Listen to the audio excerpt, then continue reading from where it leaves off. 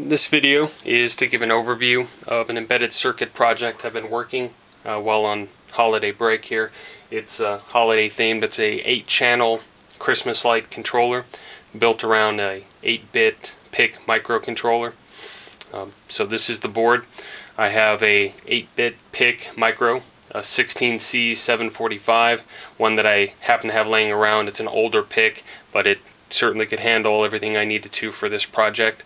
I have eight separate channels, each with their own opto isolation and triac for power control, wired up here with channel bleeder resistors for each of the eight channels. I'm running the PIC micro on a 4 megahertz crystal.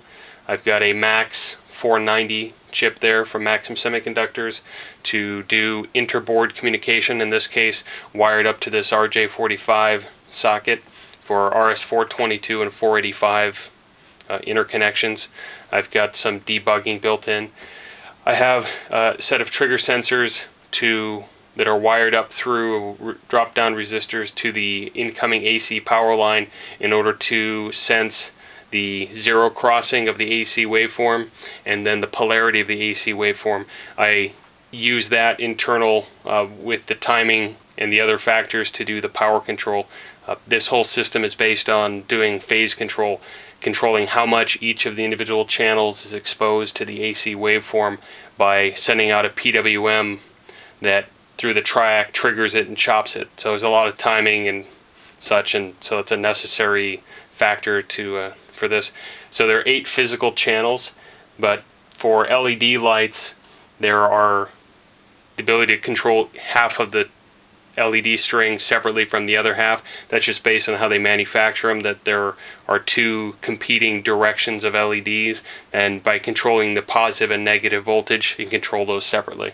So I have a set of some LED lights and some older traditional lights that can be controlled just as a single channel. So let me go ahead and power it up.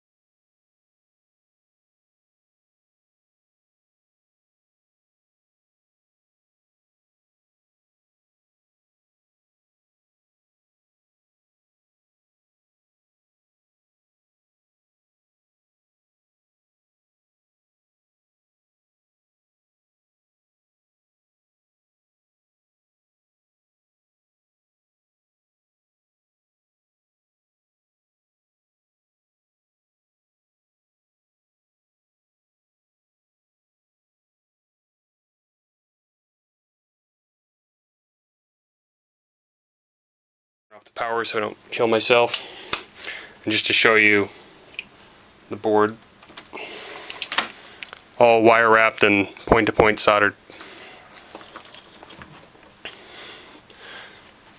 Hoping to do some more work on it, uh, maybe add some additional features. So there it is, hope you like it.